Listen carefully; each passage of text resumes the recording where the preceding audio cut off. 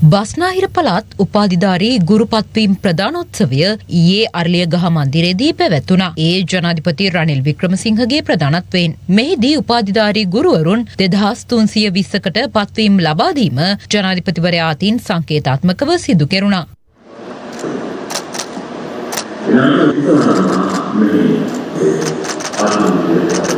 බස්නාහිර පළාතේ සේවය වෙනුවෙන් අපි දැනට බිහි කරන ශික්ෂණ ඩිප්ලෝමා ධාරීන් වෙනුවට බැචලර් ඉන් এඩියුකේෂන් උපාධි ධාරීන් බවට පරිවර්තනය කරන්න ලබන අවුරුද්දේ ඉඳලා ඊළඟ කණ්ඩායමේ ඉඳලා පීඨ 19ම අධ්‍යාපනය පිළිබඳ වූ ශ්‍රී ලංකා විශ්වවිද්‍යාලයේ හැට නම් කළා. මේ වෙනකොට කෙටුම්පත් කරගෙන යනවා කෙටුම්පත. පාර්ලිමේන්තුවේ සම්මත වුණහන් පස්සේ බලාපොරොත්තු වෙනවා මේ පීඨ 19ම ඒ විෂය වර්ගයන් අනුව කැම්පස් ෆැකල්ටි ඩිපාර්ට්මන්ට් බවට පත් කරන්න. ඉන් පස්සේ අපි දෙන්නේ උපාධීන් මිසක් ඩිප්ලෝමා නෙවෙයි.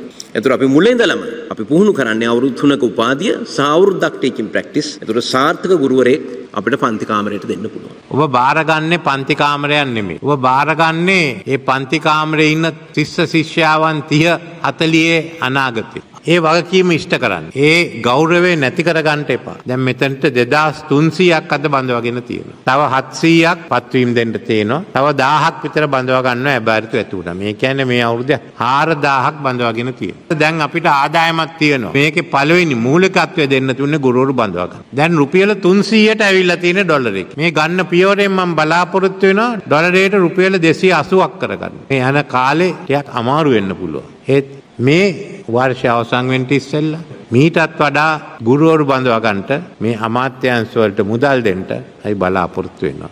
මේ අතර කෘෂිකර්ම නවීකරණ වැඩසටහනේ ප්‍රගති සමාලෝචන රැස්වීමක් ඊයේ පෙරවරුවේ ජනාධිපති කාර්යාලයේදී පැවැත්වුණා. මෙරට කෘෂිකර්මාංශය නවීකරණය කිරීම වෙනුවෙන් සකස් කළ ප්‍රතිපත්ති රාමුව ඒ පිළිබඳ පත්කරන ලද විශේෂඥ කමිටුවේ සභාපති ජ්‍යෙෂ්ඨ මහාචාර්ය ගාමිණී සේනානායක මෙහිදී ජනාධිපතිවරයා වෙත බාර දීමද සිදු වුණා. කෘෂිකර්මාන්තයට සම්බන්ධ අමාත්‍යාංශ ආයතන සහ සංවිධාන ප්‍රතිව්‍යුහගත කිරීම අධීක්ෂණය කිරීම සඳහා ජනාධිපති සහ අගමැතිගේ ප්‍රධානත්වයෙන් කෘෂිකාර්මික ආර්ථික නවීකරණ සංවිධාන කවුන්සිලයක් පිහිටවීමට කටයුතු කරන බවයි ජනාධිපති රනිල් වික්‍රමසිංහ මෙහිදී සඳහන් කළේ. කෘෂි නවීකරණ වැඩපිළිවෙලේදී රාජ්‍ය ආයතන තුළ කාර්යක්ෂමතාව වැඩි දියුණු කිරීමට මෙම නව කවුන්සිලය පිහිටවීමේ අරමුණ බවද ජනාධිපතිවරයා මෙහිදී වැඩිදුරටත් සඳහන් කළා.